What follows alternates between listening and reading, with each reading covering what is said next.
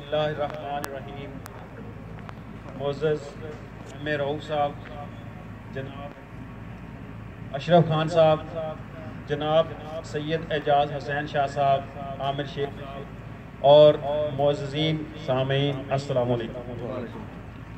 بڑے بڑے اچھے مقررین گزرے ہیں، تو میں صرف ایک بات کروں گا اور اجازت لوں گا، کیونکہ اتنے سینئر لوگ بیٹھے ہیں یہ تو جیسے سورج کے آگے چراغ لے کے بیٹھے، تو میں کوئی زیادہ بات نہیں کر سکتا۔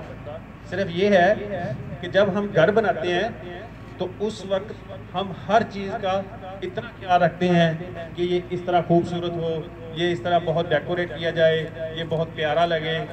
تو اسی طرح یہ ویلنشیا بھی ہمارا گھر ہے اور ہم اس گھر کے مکین ہیں۔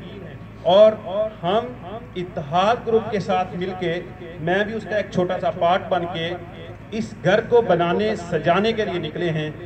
آئیں ہم، آپ اور آپ کے دوست، نہ صرف آپ بلکہ آپ کے رشتہ دار، دوست یار، تمام دس مارچ کو چاند پہ مہر لگا کے، اس کمیٹی کو کامیاب کروا کے، اس ویلنشیا کی تقدیر بدلنے میں اپنا کردار ادا کریں۔ ویری گڈ بہت شکریہ السلام علیکم۔